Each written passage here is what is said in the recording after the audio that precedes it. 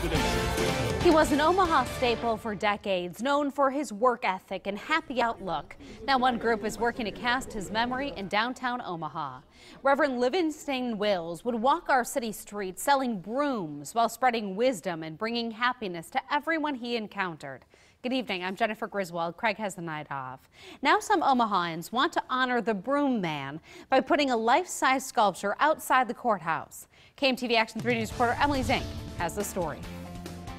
He's proof that good things can come out of North Omaha.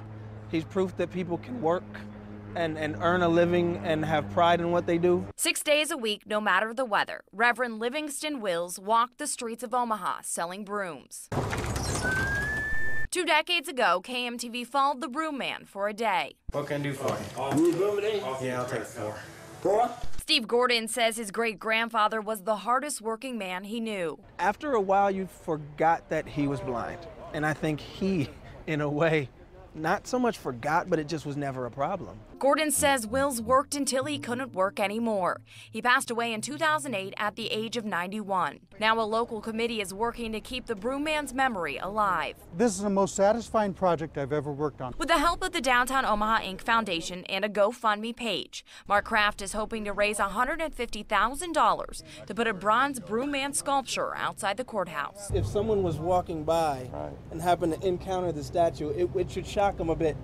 Oh, I haven't seen you in forever. Gordon says the well traveled downtown spot is the perfect place for the life size sculpture.